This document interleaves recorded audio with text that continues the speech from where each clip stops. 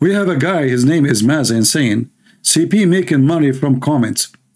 Uh, Abdul Donkey, son of Muta. As you see in my page in YouTube, I don't have advertising, I don't have support chat, so you are a donkey again like your prophet, which means I have zero money I make here.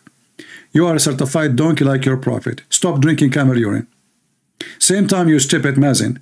As long you are saying, I make money from comments, so why you are making comment, you donkey?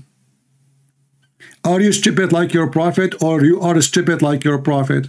Just to show you how stupid you are. Let us say for the sake of argument, I'm making, making money from comment. Why you are making comment, you donkey? Are you making me rich? What your mom, she fed you after you came from between her legs. And how we can make money from your comment, just tell me please, I want to understand.